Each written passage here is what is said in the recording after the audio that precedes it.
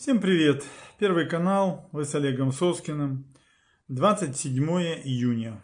Уже почти нет одного летнего месяца. И все, все, все идет, все. Агрессия продолжается, более того, набирает обороты, интенсивность растет. Захваченная оккупированная территория Российской Федерации Белоруссию неньки України збільшуються, яку вони захопили. Армия, Зеленский и все прочие залужные говорят, что это все вот идет по плану сдача городов вот, Северодонецка, Золотого, Горского и так далее. Сейчас уже говорят, что могут Лисичанск дать, там всякие эксперты уже про это рассказывают. Там Жданов такой вроде как есть. Да, тот вообще все знает. Откуда он все знает? В январе месяце этого года вообще никто этого Жданова не знал, вот ставного какого-то. А тут уже он прямо везде, и там прямо миллионы его смотрят. Вы мне хоть расскажите, как это происходит? Как этот набор набирается таких этих просмотров, понимаете? Дело ж не, даже не в том, что там как-то какой-то там появляется к нему вот, э, чувство такое недобросовестного конкуренции и так далее, а просто а даже интересно, хочется самому понять, как это происходит, да? То есть, ну вот смотришь там Арестовича, там, понятно, да, ну, э, он умный, ну, очень умный. Алексей очень умный. Он артист, величайший там и так далее. Он и так может, и это может. Вообще, конечно. Но, ну, ну, плюс все равно. Настоящий. Как бы там можно любить его, не любить, но надо говорить там. Ну, Подоляк, да, Миша там тоже нормально там ну, Данилов там, секретарь РНБО, ну, Зеленский там, ну, кто еще? Я имею в виду как бы мессенджеры, да, вернее, ну, те, которые, ньюсмейкеры, так скажем, да. Ну, вот кого не посмотришь, э, Пентковский там, ну, и Ларионов что-то совсем мало стало там, э, потом там этот Фейгин, например. Ну, как бы понятно, да, понятно соразмерность вот, э, того, что они набирают. Ну, Портников там тоже понятно, соразмерность, там, Небоженко, там, то есть все как бы понятно, да, там еще разные, на политике же можно тоже посмотреть. А тут вот этот Фролов, он просто выпадает из этого ряда. Я вот просто не могу этот феномен объяснить. Может, вы мне, он там был на где-то обозре, на обозревателе, там это. То есть, как это происходит? То есть это какое-то явление такое интересное, нам бы его знать хотелось бы. Что это такое? Как получаются вот эти миллионы, сотни тысяч просмотров там за несколько часов буквально. Просто как слышат фамилию, как этот Фролов, все сразу раз, я во все время что-то хочу Ждановым назвать, не могу понять почему все раз сразу бросаются, все бросают, там пиво пить бросают, там мне пишет один, говорит, мы с товарищем, Олег Ильич, когда вас смотрим, купим ящик пива, там все, сядем в гараже, там этот, этот, другие пишут, нас там целое село вас смотрит и так далее. А тут, получается, целые города его смотрят. Все сразу, Ким дает команду, там, мэр Киева или Синегубов, харьковский администратор, там, или мэр Одессы, там, и других, сразу говорят, Выступает кто? Кто? Залужный, Зеленский, Ермак? Да нет, это вообще лузеры. Выступает сам этот, как его там, Фролов или Жданов, да? И все бросаются прямо к этим своим пристроем удо, смотрят, что ж он скажет, что ж он такое нам скажет, чего мы ни от кого не услышим, понимаете? Поэтому я себе думаю, может, я что не понимаю, так вы мне, так сказать, э, сермяжную правду расскажите. Ну, это так, ради прикола. Но явление вот такое есть, просто даже удивительное явление. Ну, а теперь давайте по-серьезному. Так я вам рассказал вот про этот фильм, про то, что, про 20, то, что Франция 2 сделала, про вот этот последний перед войной Путина Макрона разговор по инициативе, естественно, Макрона. Ну, про то, что Путин готовился в хоккей играть, Макрон его оторвал и так далее. Про то, что встреча с Байденом не произошла. Ну, то такое. Теперь давайте вот перекинем мостик в нынешнюю ситуацию, да, то есть ситуация вот в конец уже июня месяца. Что получается? Получается практически э, ситуация такая нехорошая, на мой взгляд. То есть Путин живее всех живых, Он в, в Ленинграде, Петербурге встретился, вызвал туда этого э, дважды с этой с психсправкой э, свою эту э, Галема Лукашенко, да, Гауляйтера, и четко ему сказал, что будем делать. Гауляйтер взял под козырек, и вот тут что произошло, важно, я думаю. Смотрите, Планируется, что 30 июня, 1 июля будет э, в Минске так называемый форум регионов союзного государства, 9 кажется. И вдруг там говорилось, что его посетит сам Путин. И вот уже Путин не будет его посещать. Более того, э, Валентина Матвиенко, это вечный, так сказать, спикер то есть ее как с Ленинграда пересадили э, с администрацией, она там сидела, да, вот на эту э, высшую, вверх, верхнюю палату их главных этих так называемого законодательного моско, московицкого органа. Они себя сенаторами называют. С них такие сенаторы, как из фекалий пуля. Вот. Так она что заявила? Она заявила, что типа не будет Путина там, вот, не приедет он в Минск, нечего ему там, не царя это дело, вот не царское дело по всяким Минскам там лазить, Пинским болотам, и вообще будет какая-то видеосвязь, и вообще непонятно, кто и будет. Ну, уже понятно, что Путин так точно, ну, не будет, потому что и включение они ему не могут этого обеспечить 30-го, я так понимаю, и первого там вообще непонятно. Но другое будет интересно, что именно? Интересно будет следующее, что вот в этот период с 29 по 1 июля э, посетит Беларусь Лавров, министр, целый министр иностранных дел. Тоже, слава богу, мужичок, где-то возраст у него как у Гундяева, так генерала. Ну, это тоже какой-то офицер КГБ. Так вот, э, и будет, но посетит он его не в связи с этим форумом регионов, он, лет ему он снился, а в связи с празднованием 30-летия установления э, дипломатических отношений между Беларусью и Российской Федерацией. Вот какая штука интересная получается, понимаете? То есть понизили они ему этот статус, и э, то есть Лукашенко отгреб, видно, в этом Ленинграде, Петербурге от Путина по полной программе. По полной программе. Теперь давайте подумаем. Э, то есть посла, посылают теперь туда Лаврова. Помните, да? Когда вот эти были тяжелые период с Лукашенко – вот, когда его хотели убрать, и да, надо было убрать, потому что эта девушка э, случайно вроде как перемогла на этих президентских выборах. Помните, поездки были. Эта поездка была кого первого? Мишустина, кажется, а потом Лаврова, да? Сейчас Мишустин тоже сказал, что приедет Путин к нему. А оказалось, что Мишустин не в курсе. То есть Мишур, Мишустину а, ребята путинские дали под зад, что ты там под ногами не путайся, куда, а, так сказать, самому императору ездить. Знай свое Мишустин место мыторское. И там посадили тебя. Каждый сверчок должен знать, что свой Мишустин, шесток. Вот. Ну и поедет Лавров. То есть, значит, ситуация там кризисная, плохая там ситуация. Потому что она повторяет нам кадры из ситуации, когда Лукашенко висел на волоске после президентских выборов. И тогда только, э, так сказать, дряблость Запада и э, совершенная, ой, как бы это мягко выразиться, мягкотелость Польши, Литвы и Украины, науседы э, Зеленского и этого, как его там, президента Польши, да, не позволила, не позволила установить правильную демократическую модель власти в Беларуси.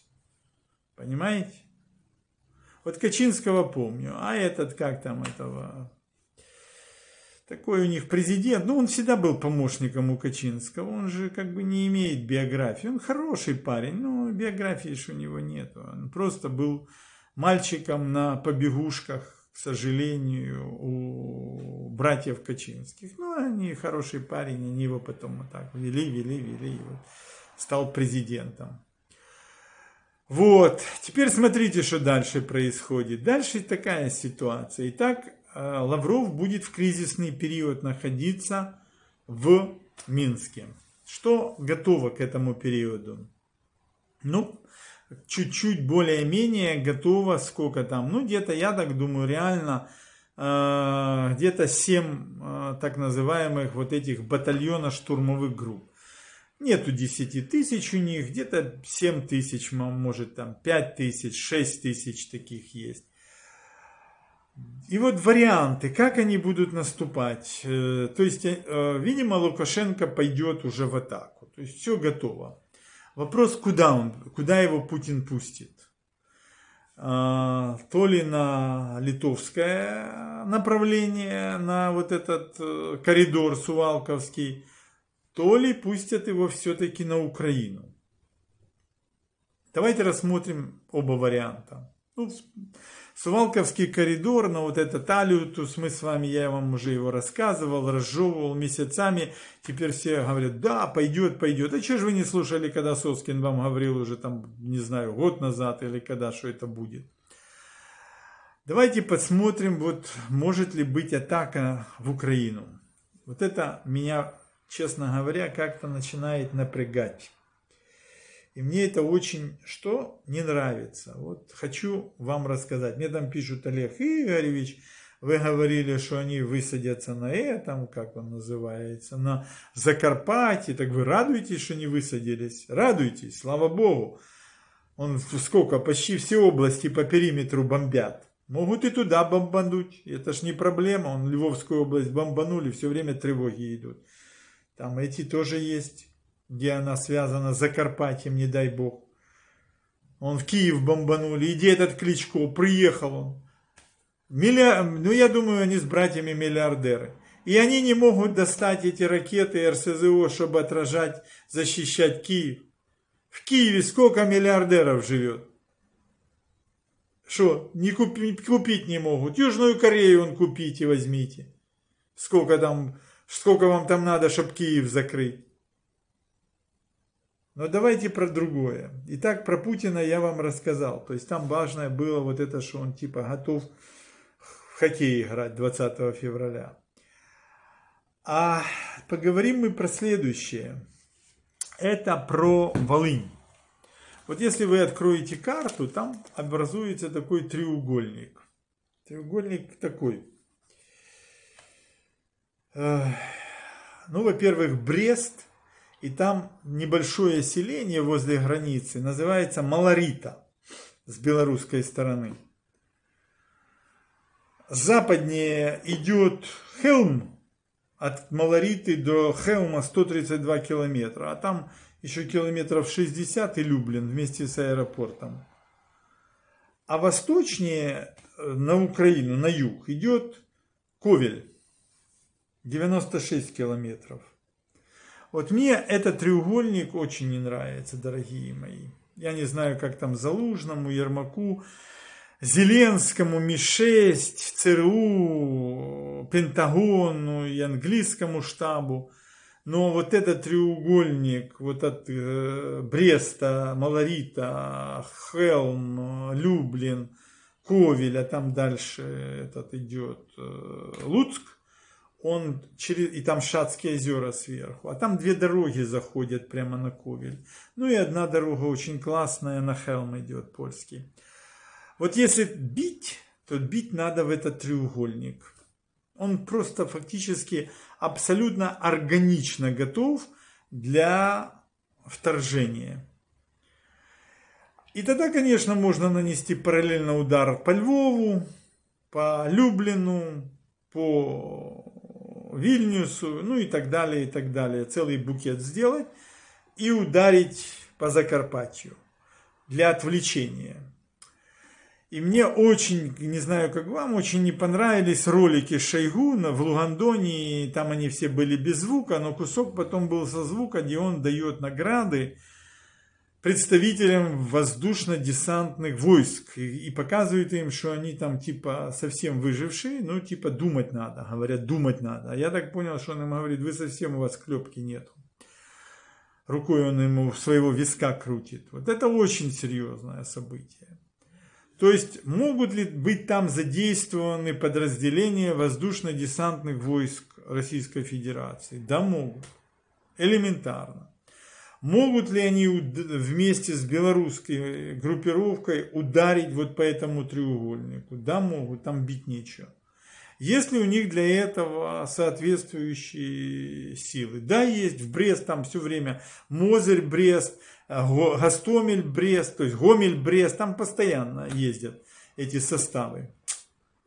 20, сейчас они там, сколько там этих эшелонов они отдали, сейчас расконсервировали советского оружия. Могут ли там находиться российские контрактники-добровольцы? Конечно, могут. Тем более они сейчас э, могут им давать новые там возможности, там денег просто бешеные платят. Вот. Готова ли э, система натовская, ну и украинская, отразить это нашествие польское? Я не уверен в этом треугольнике. Он очень сложный для обороны. А, есть одна особенность волын, волынян. Они такие, знаете, очень, вот сколько я ездил в Ковель, в Луцк, они инертные. Они такие спокойные. Это флегматов там очень много. Это хорошо. Вот. І їм всегда кажется, що з ними такого не може трапитись. Говорят, там я говорил со своими друзьями, товарищами и так далее разными. Говорят, что типа все-таки Олег Ильич там есть все. Я тоже верю, что есть. Но я не знаю, есть ли в районе Шацких озер, в районе Любомля, Ковеля, Хелма, Люблина и вот этой, как она называется, Малориты. Там что есть? Был я на Шацких озерах, там такие леса, там столько белых грибов. Ой-ой-ой, то не дай бог. Не дай бог, ребята, если там начнется вырубка.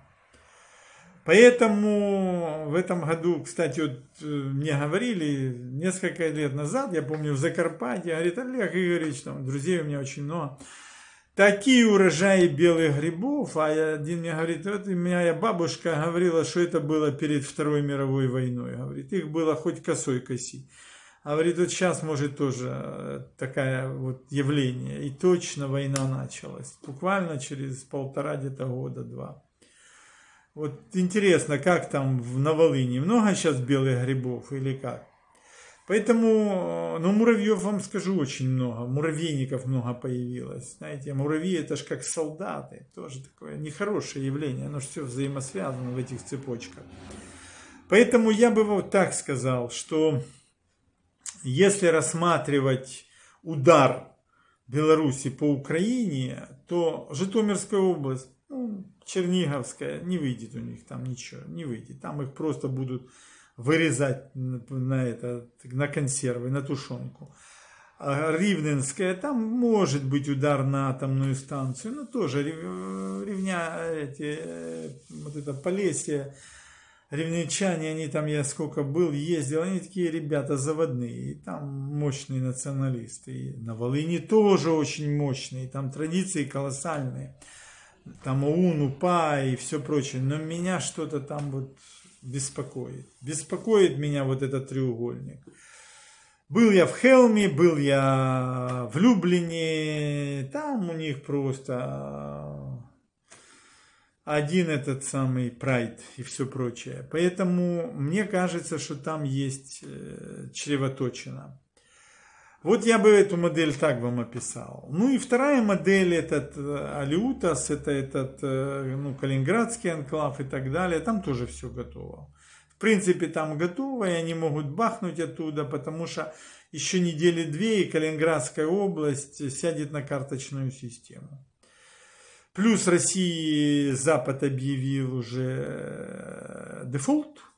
Все, уже Блумберг им сказал, ребята, давайте идите подмывайтесь. Дальше будут этот Жалилов классно им все описал, пусть они его читают, молодец, Ярослав. Что дальше будут санкции, санкции, и, так сказать, будут соответствующий арбитраж, и потом накладываются э, аресты на все их активы, и пассивы, и все остальное. Поэтому московиты, готовьтесь по полной программе. Тут главное, чтобы Украина своего не потеряла. Поэтому аресты начинаются просто. Россию будут фейсом up table, так что мама не горюй. Но вот эти две вещи, и э, это должно где-то произойти буквально вот совсем недалеко. Я думаю, эти могут две операции быть увязаны. Удар по Украине, вот в районе Волыни, Львов, Закарпатье, Польша – Литва, и удар сразу же по Калининграду, э, по Сувалковскому коридору. Они могут быть взаимосвязаны, два удара. И я думаю, у них все для этого готово. Я вам сейчас расскажу, а может быть, да, надо, может, сегодня 27 нет, ну, тогда 28 расскажу, тогда еще вот эту следующую часть, а что делать будет Путин в этот период. Смотрите Олега Ильича, поддерживайте канал, давайте донаты, это очень хорошо. И на Монобанк там где-то, Гороховский там он один из собственников, поэтому ты же там не мешай, пусть люди дают, что ты вопросы мне задают. У тебя же там написано, люди интересуются, люди хотят знать, как им дальше жить. Вот и все. Вот поэтому еще раз говорю, в Восточной Польше, в Люблине не сидите. Не надо. Там у меня друг есть, консул Павлюк Вася. Хороший парень такой. Вот, Вася, я думаю, у тебя сейчас может там в Люблине быть очень тяжелая ситуация. Обрати на это внимание. Вот, включи, ты же там свободовец давний, так что давай там поднимайте Львов, Львов красавец, представляете, жалко будет. Садовой там только не только с собачками и кошечками пусть там ходит, надо же еще чем-то заниматься. Вот. Ну и Ковель, ребята, там же вы бизнесмены, там тоже то, не только ж про деньги думаете и про рестораны, еще чем-то озаботьтесь, потому что все же может быть, а потом что... Самая всегда поганая часть, мы же знаем с вами, да, это первый день вторжения. Потом оно уже как-то нормализуется. А вот все, что они в первый день сделают, может, надо нашим войти в Малориту эту вместе с поляками, что там идти там, да и упредить, упреждающий удар сделать, да и нормально будет. Вот. Все равно же нападут. Все. Лукашенко должен напасть. У него нет никаких уже вариантов. Ему сказали, что или-или. Или он начинает, или Вольфович, Александр Григорьевич, тот Александр Григорьевич, тот Александр Григорьевич. А Вольфович аж копытами бьет и готов начать и Лавров для этого, может, и приезжает. Ну ладно, посмотрим. Вы с Олегом Игоревичем Соскиным. До новых встреч.